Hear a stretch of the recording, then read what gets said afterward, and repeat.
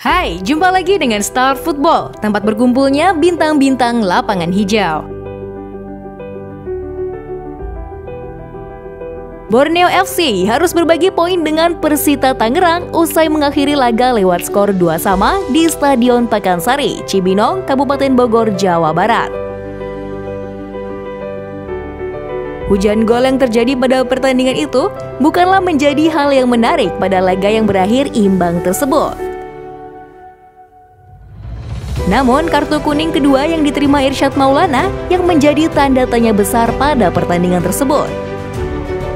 Sebab sang pemain mendapatkan kartu kuning kedua setelah diketahui terlibat diving di dalam kotak penalti Borneo FC.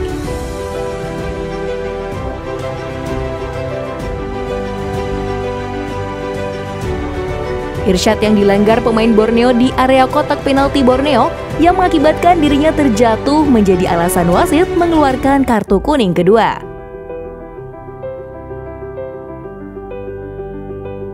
Padahal, jika dilihat lebih cermat lagi, terjangan dari Davronov mengenai kaki Irsyad Maulana yang mengakibatkannya terjatuh. Bahkan pemain asing Borneo tersebut mengakuinya dengan menunjukkan gestur jika pelanggarannya dilakukan di luar area kotak penalti.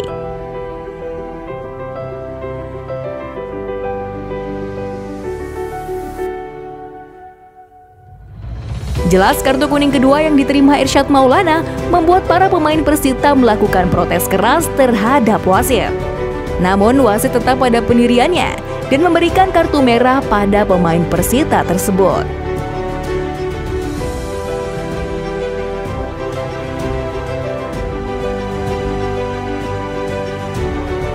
Sontak kejadian itu membuat Davronov kebingungan karena jelas-jelas dirinya terlibat kontak fisik dengan Irsyad Maulana di dalam kotak penalti.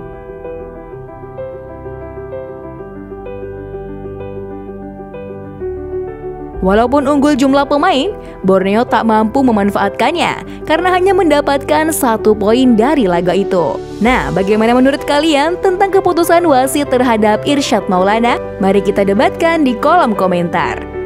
Jika kalian suka dengan konten ini, jangan lupa klik tombol subscribe lalu nyalakan loncengnya agar kalian tidak ketinggalan informasi update dari tim Star Football. Thank you and see you next time.